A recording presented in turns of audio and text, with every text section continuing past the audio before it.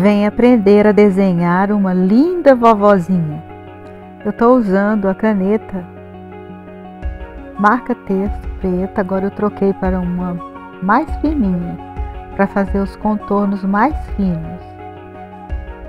Fazendo o laço da fita, o vestido, o avental, o bracinho, com muito carinho. Aí a mãozinha com uma luva e uma tigela deliciosa com uma sopa ou algo muito gostoso que você gosta. Agora eu tô trabalhando o cabelinho dela com achuras.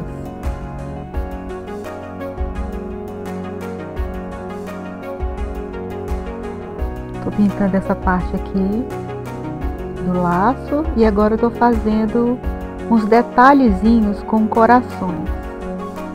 Para você dar para sua avó, fazer um quadrinho, pintar um pano de prato para sua vovó. Eu vou escrever no final: Amo a vovó.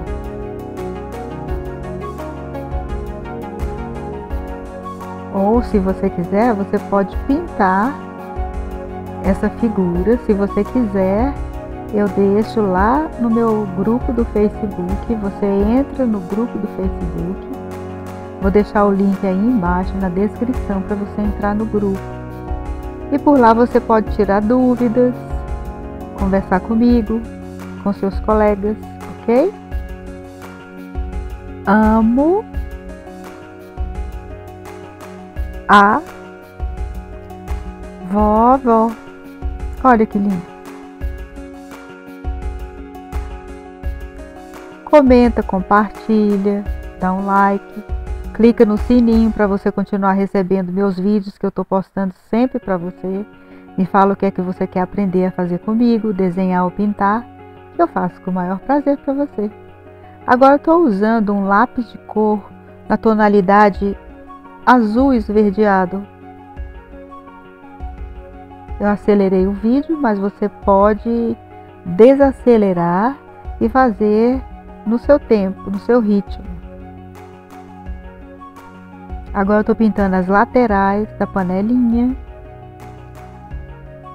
para dar profundidade à tampa e agora a fumacinha de uma comida bem quentinha e bem gostosa.